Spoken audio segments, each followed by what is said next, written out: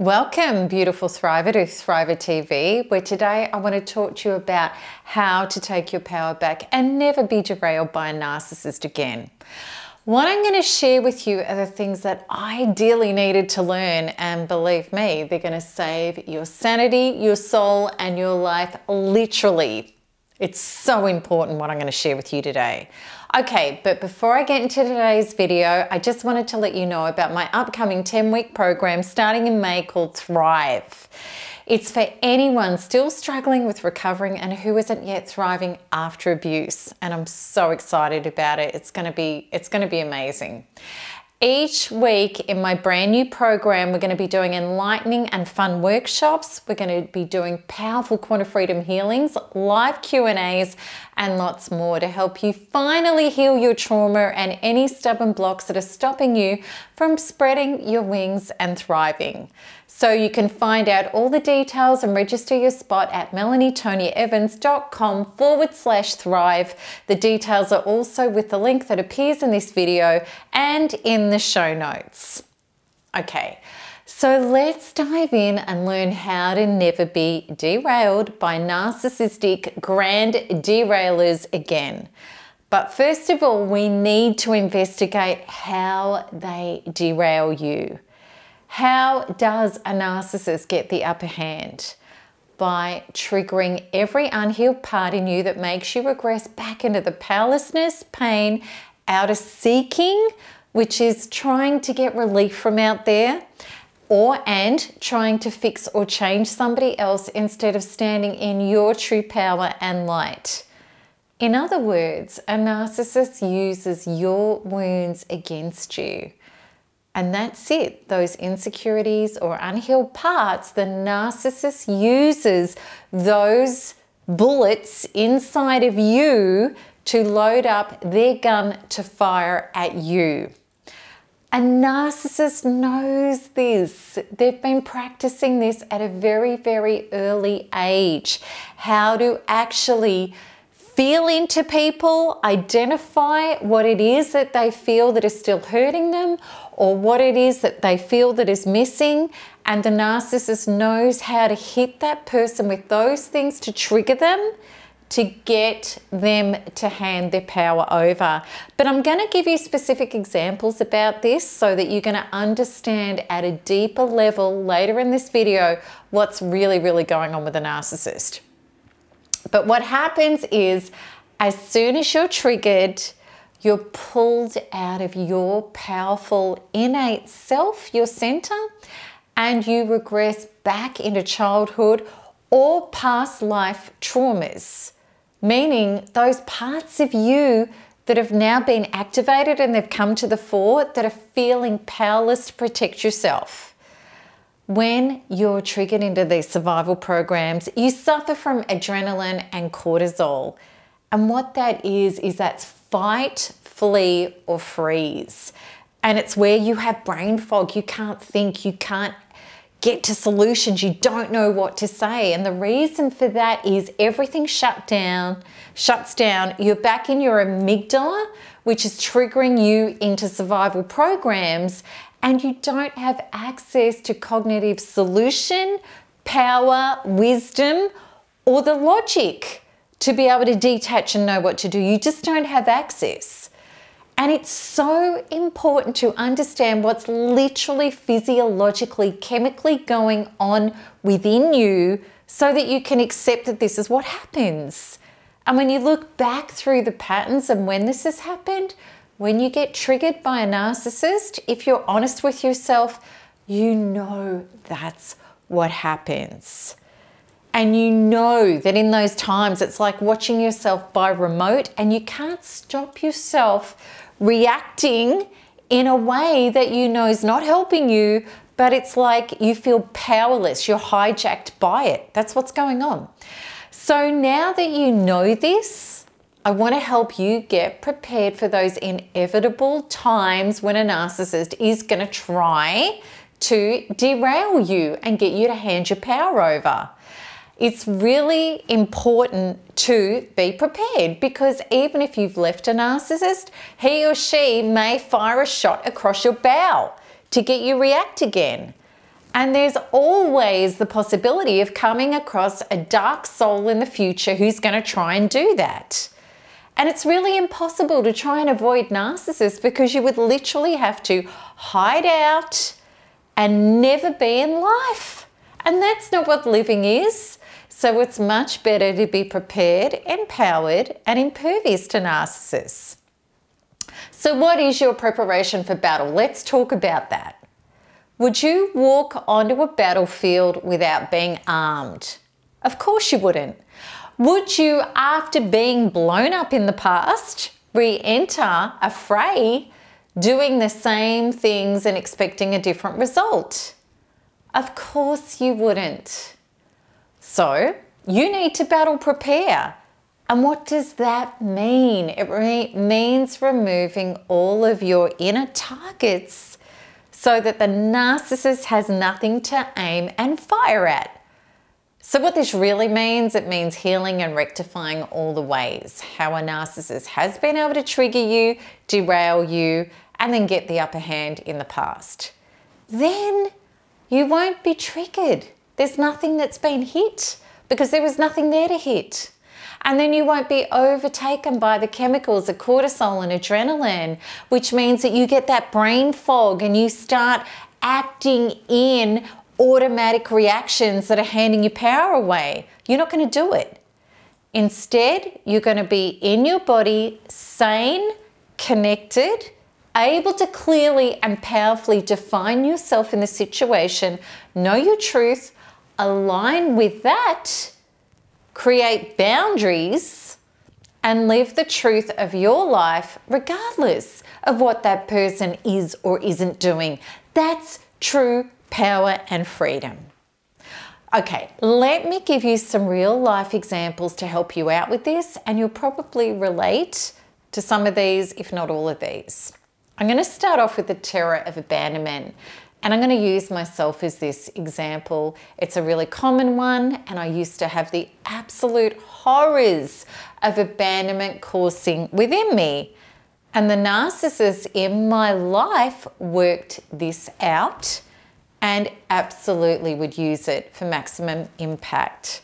So, what would happen? We'd be all really good and everything would be fine, and then out of nowhere, or at the slightest provocation, or during an argument, the narcissist would tell me that the relationship was over. And when that happened, I felt like the rug was pulled out from under me. I was triggered into literal panic and the feelings were so white hot and out of control, I really felt like I was going to die.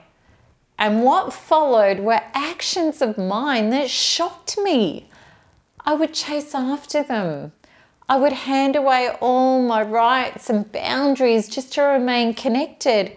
I would beg, I would plead, I would apologize for things I hadn't done.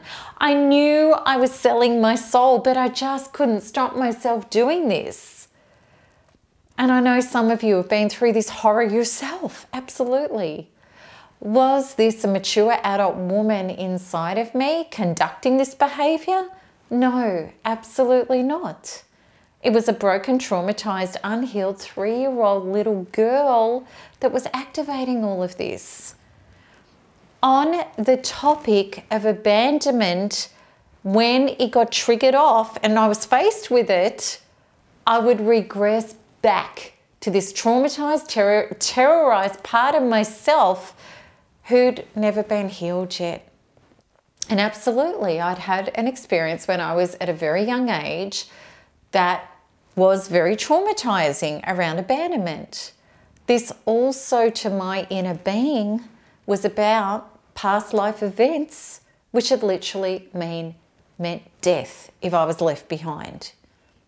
And for women, up until, you know, the last however many decades, without a man, she had a really limited chance of safety and survival.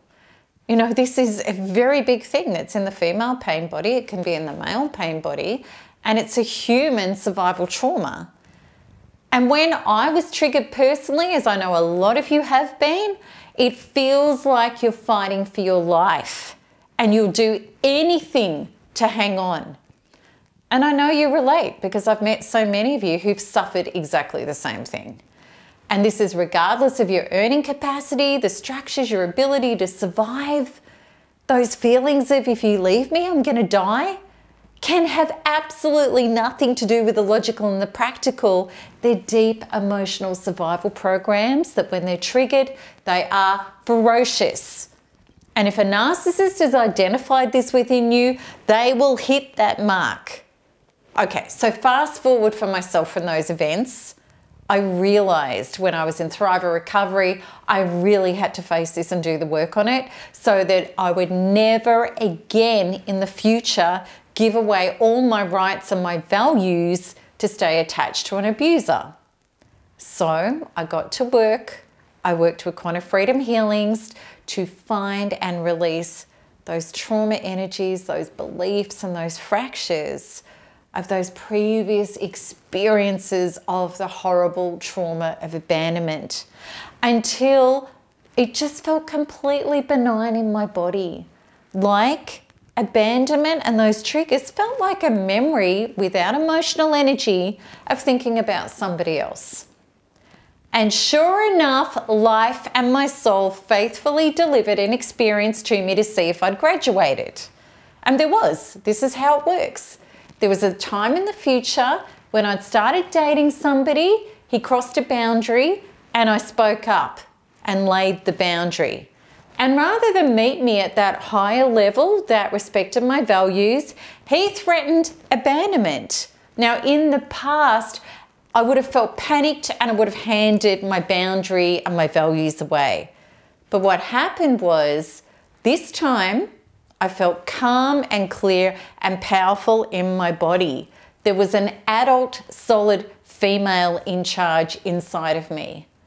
And I knew from his response that I'd been given my answer. I didn't want to be with this person and what he represented. It wasn't good enough for my values and my truth. I let him go and felt really great about that. And when he tried to circle back, I stood true in my decision. It was so good because I was liberated and celebrating my huge win in no longer being derailed by abandonment. Now, I know I don't have to tell you what a glorious evolution and graduation that was for me, as it can be for you. Because no longer was I going to be playing out traumatizing relationships with those who were matching that unhealed wound that would keep delivering it to me. So, okay, now on to the next example, which is being accused of terrible things. And one of my Thriver clients, a lovely man named Peter, he was hooked in by his ex narcissist, and even though they'd separated, he was having a lot of trouble trying to get a settlement and get custody sorted out in court. He couldn't have any sort of meaningful, fair interaction with her in regard to getting things settled and sorted, which I know a lot of you go through. It's very narcissistic. And his soon to be ex wife, she was accusing him of affairs and taking money, and she was pitting the children against him, smearing um, him, you know, doing all of the things that narcissists do. And predictably, of course, these were all of the things that she'd been doing herself, and she was projecting it at him and making it his fault. Peter, you know, a decent, nice guy, was so horrified by these accusations and he was continually hooking in over and over again, trying to explain and justify and grant her the proof to dispel all of these accusations. All he wanted to do was her to move on, do the right thing. He cared about her, he didn't want her to hurt, and he wanted her to believe that he was a nice guy. But this was just feeding her narcissistic supply. It kept him engaged with her on the phone or by emails and text messages, and it hooked him in. So she could continue abusing him and accusing him and controlling him by trying to change her mind about blaming him for ruining the marriage, he was in wrong town. It equaled how to lose. It just kept Peter on the hook, handing over his energy and completely delaying any process with the finalisation of their marriage, their custody, or their property. None of that was gaining any ground at all. When Peter turned inwards and he did the inner work on these triggered traumas, on his bullets that she was loading up and firing at him, he discovered terrible traumas in regard to being punished and discarded if people thought that he was doing the wrong thing. And these were traumas and programs long before his marriage. When he was able to heal these traumas, he was able to think about the accusations from his ex without any pain at all. There was no emotional energy on it. He was just clear I'm not that person. It doesn't matter what you think of me, it's important what I think of me. It was then that she lost all power over him. She couldn't get the rise, she couldn't get the reaction, she couldn't get narcissistic supply. He was able to stay calm, no longer engage in that rubbish, and move proceedings along and get custody and property settlements happening in really positive ways which many people in our community achieve regularly. So the differences for Peter regarding how things were going compared to how things didn't go, when he removed the bullets that she kept shooting at him were like night and day. Okay, let's have a look at suffering infidelity. This is a big thing that happens in narcissistic abuse. Nicole suspected that her partner was having an affair because he was really flirtatious and attentive towards other women. He was always talking about other women and he would often say that he was working back late at his office. And Nicole's intuition was buzzing. She knew. And when she tried to speak to him about her concerns, he told her she was imagining things and it was her own insecurity that was making her jealous and that previous relationships were making her like this. And he'd say, I'm not those men. Stop accusing me of being like your ex husband, all that stuff. One night, while he was having a shower, Nicole looked at his phone and her most terrible fears were confirmed. There it was the absolute point blank evidence that he was having sex with somebody else. So she confronted him and he unleashed on her with how disgusting it was that she was checking his phone and that she could make such accusations about him. Nicole was so traumatized, she thought she was going to vomit. And she was screaming at him over and over what she'd read. He took, he'd taken the phone and he was standing back and telling her how irrational, insane, and ridiculous she was behaving. And he denied, flatly denied that the text message meant anything. The proof had been right in front of her. And yet here she was trying to convince him of what he'd done, which he was just flatly denying, rather than pull away and take care of herself. Before Nicole started working with her inner being, when I first met her, she was nearly suicidal. She was still with him. He was treating her disgustingly. He'd made her promise that she would never bring it up again and that she needed to go and get therapy and help for her own dire insecurities. It was that horrible. I explained to Nicole that he was using her unhealed traumas against her because this isn't an adult self-respecting woman inside of her.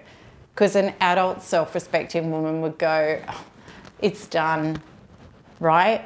And she couldn't. This always means there's embedded trauma. And this was the embedded trauma of being replaced by other women and suffering the horrors of being cheated on and Nicole told me, yes, it had happened to her in previous relationships. It was a pattern, and that her mum had suffered the same fate with her father, who had left them, the family, when Nicole was very young for another woman. Okay, so we got to work. And Nicole turned inwards with quantum Freedom Healing and she found and she released all of the generational childhood and personal traumas that she had wedged inside her on this topic. After doing this inner work and being freed with that and replacing it and reprogramming it, which is what quantum Freedom Healing does, she felt no pain on that at all. And she was repulsed by him.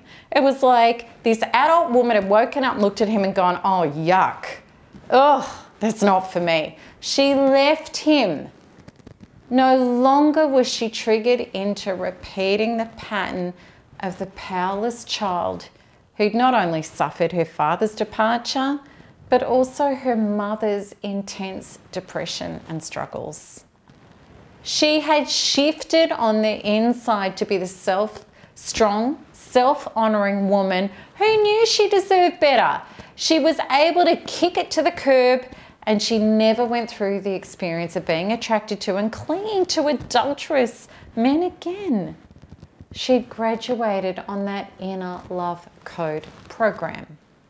Okay, so in conclusion, I hope that this is making sense to you. To you. Do you recognize yourself in any of these examples? There are countless other examples, countless. And one thing is for sure the thing or things that the narcissist is derailing you on are exactly the places that you need to turn inwards to, lean into, and heal within yourself. Okay, so I would love you, if this resonates with you deeply, I want you to pause this video so that I know I get your feedback. And I want you to write below in the comments, Mel, I get it, so that I know you get it. And then, if you want to, let me know where you are on this journey with this. Have you started the inner work yet? Have you had wonderful results because of your inner work? Are you free of those triggers now? Because this is the bottom line.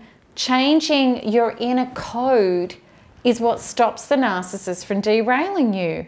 And this applies to any painful relationship program that you've had in your life, whether it's to do with a spouse, lover, family, friends, your workplace, whatever it is. This takes away the ammunition to hurt you, and what is replaced is your own values, boundaries, and power.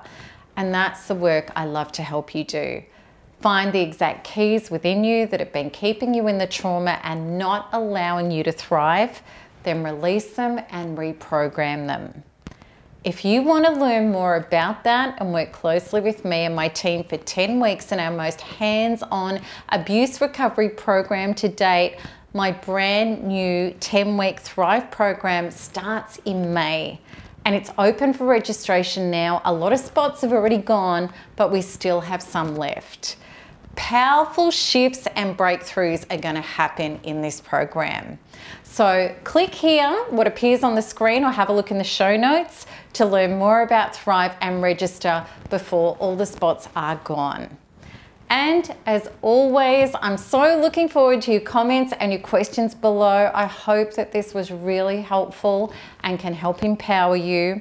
And until next time, keep smiling, keep healing, and keep thriving because there is nothing else to do. Lots of love. Bye bye.